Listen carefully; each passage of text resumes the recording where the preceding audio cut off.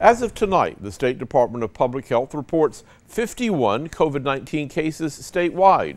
Jefferson County continues to lead the state with 25 current cases. Lee County now has eight, followed by Shelby and Elmore counties with four each.